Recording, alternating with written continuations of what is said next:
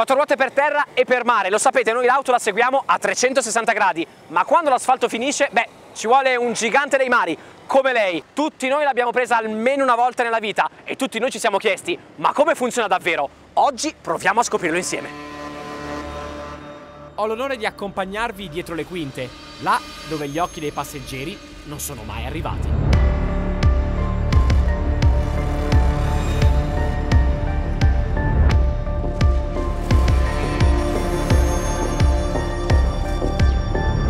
Ora vi sto portando all'interno del cervello della nave, il ponte di comando, dove trovo il comandante Guido Pergola che mi spiegherà come si guida un bestione da 15.800 tonnellate. Guido, intanto grazie per l'ospitalità. Figurati, è un piacere averti a bordo. Allora, andiamo.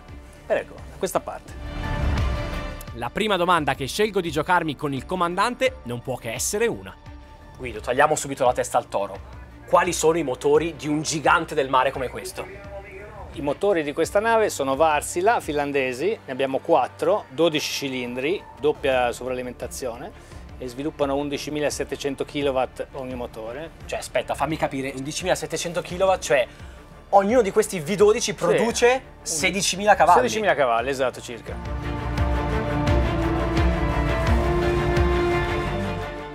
Immaginate di alzare il cofano della vostra auto e di trovare dentro questo, un V12 grande come una casa.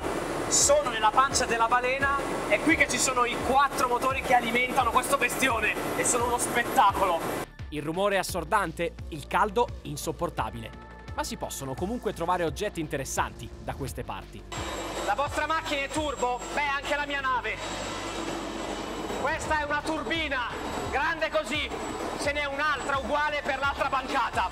Questo è un turbo che mi piace.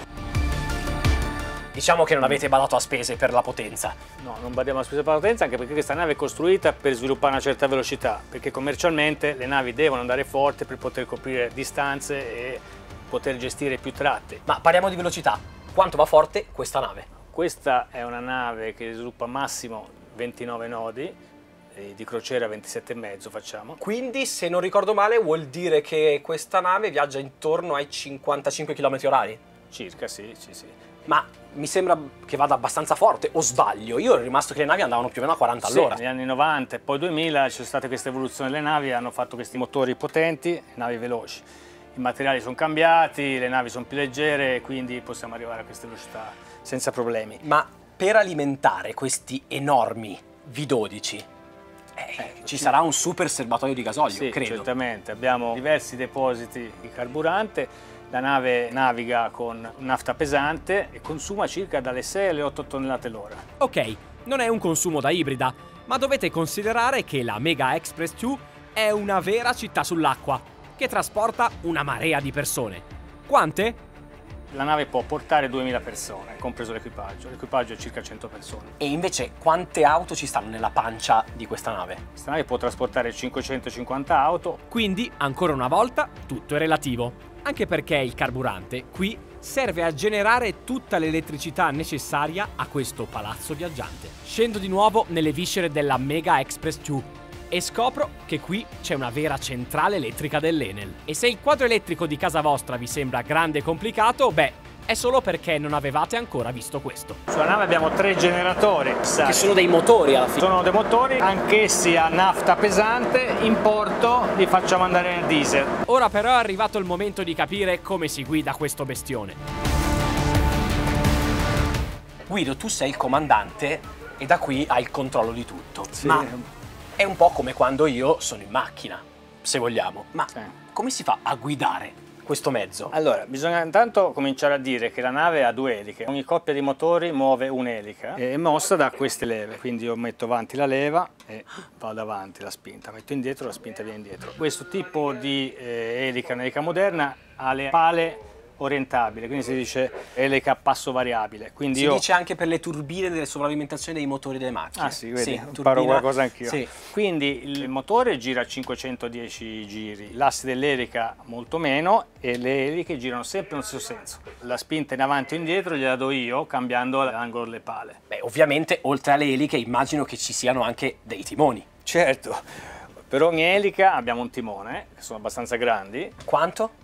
Sono 17 metri quadrati, in manovra si possono muovere da questa leva. Quindi sì. non c'è più eh, diciamo, il timone come si vede nei film sui vascelli enorme? Il timone c'è, è centrale, è piccolino, elettrico e si usa in navigazione. Ma è difficile da guidare? Immagino di sì, viste le dimensioni. Diciamo che ci vuole un po' di pratica, perché muovere una nave è completamente differente di muovere un mezzo, ad esempio su ruote, che tu ben conosci. La macchina sta ferma anche se arriva una folata di vento, la nave si sposta con le correnti, che ci possono essere anche nel porto, si sposta col vento, ancora di più con le raffiche, quindi uno deve calcolare anche la raffica. E Perché ha una superficie enorme, quanto è lunga? Allora, la nave è lunga 176 metri, larga 25, e ha una notevole superficie velica, quindi il vento si sente molto la difficoltà, e per questo ci vuole esperienza, è anticipare l'azione del vento, la corrente, perché la risposta della nave non è immediata. Perché c'è tanta inerzia. C'è tanta inerzia, perché se tu in un certo momento hai una raffica forte che ti fa spostare la nave verso una banchina,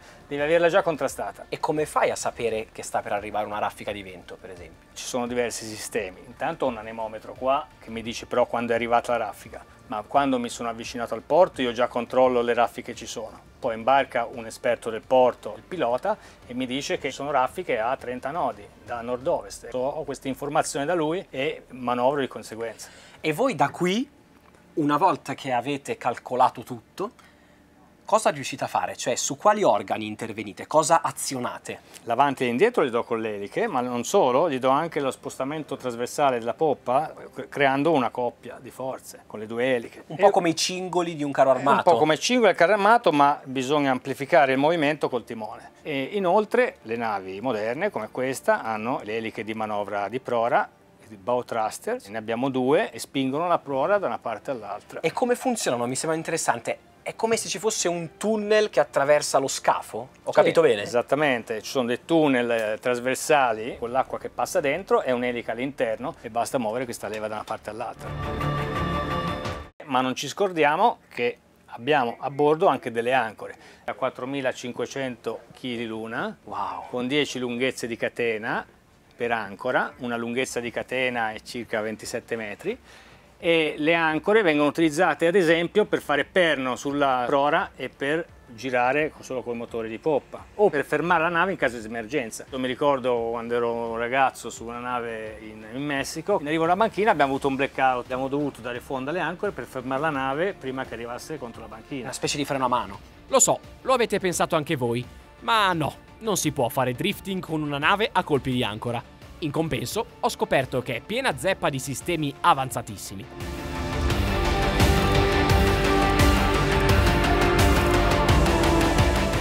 Guido, le auto di oggi, come sai, sono sempre più tecnologiche, hanno sempre più sistemi di assistenza alla guida per migliorare la sicurezza e anche il comfort.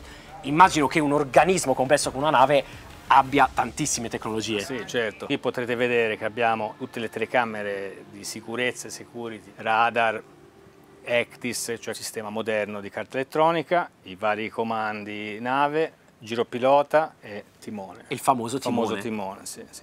E poi eh, varia strumentazione, telefoni di emergenza, linea normale, altro radar, stabilizzatori per smorzare il rollio e poi come dicevi te per la sicurezza c'è una console dedicata dove abbiamo il controllo delle paratie stagni, quindi compartimentazione stagni alla nave, rilevazione incendio, porte tagliafuoco. Morale? Per contenere la strumentazione di un'auto basta una semplice plancia, qui invece è servita una stanza intera. Questa è la strumentazione dei motori, tutta analogica come vedete, come Con piace a me. Controllo motori, telecamera anche qua. E questa è una cosa interessante che utilizziamo. L'economizzatore prende la temperatura dei gas di scarico dei diesel, il calore, va a riscaldare dell'olio diatermico che ci serve per riscaldare poi la nafta pesante per poterla buttare nei motori e farla bruciare.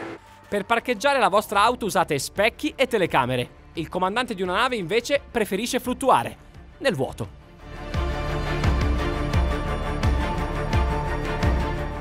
Ti confesso una cosa, io soffro tremendamente di vertigini e qui sono su una botola sospeso praticamente nel vuoto a 22 metri, ma era sì. proprio necessario farla, poi siamo sicuri che tenga. Sì, si potrebbe anche non fare, non è obbligatoria, l'unica cosa che è molto utile per il comandante è avere la possibilità di vedere la banchina sotto di sé per avere esattamente la posizione corretta della nave. Ma noi abbiamo la posizione di guida corretta in macchina, anche tu hai la tua posizione di guida. Questa è la posizione classica di manovra del comandante, deve essere girato in questa maniera per poter vedere tutta la nave, in quanto la difficoltà della manovra sta nell'anticipare gli agenti esterni che fanno muovere la nave, vento e corrente. Ma questo vale solo in porto. Per il resto, invece, la nave è un po' come un aereo.